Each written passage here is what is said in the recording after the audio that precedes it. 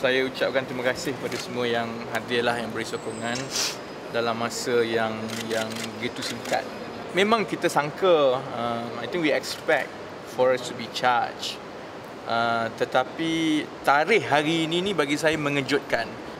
Sebab bagi saya tindakan uh, serta-merta mendakwa kami pada hari ini tidak ada kena-mengena dengan undang-undang ataupun NFC. Semalam kerajaan mengumumkan George Kent telah diberi kontrak mengesahkan selama ini bahawa uh, semua pendedahan yang kita buat itu betul. Uh, saya berpendapat tindakan untuk buat dakwaan ini supaya seluruh tumpuan media yang ada pada hari ini akan beralih kepada kes NFC dan juga pendakwaan kami. Dan minggu depan pula kes saman Datuk Seri Syarizat akan bermula. Kami akan masuk mahkamah sekali lagi. Bagi saya ini 100% tindakan bermotif politik kerana saya tahu um, siasatan telah dibuat lama. Saya telah dipanggil uh, untuk soal siasat lama.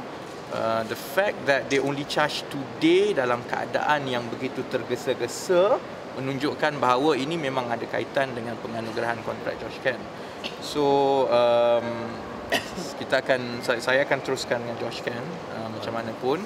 Dan mungkin kita akan buat beberapa uh, kenyataan lain lah terutama termasuk juga tentang dana-dana untuk membiayai. Maknanya uh, whistleblowers yang lain uh, akan terus dikenakan tindakan undang-undang. Maknanya saya expect after this a lot more will be charged.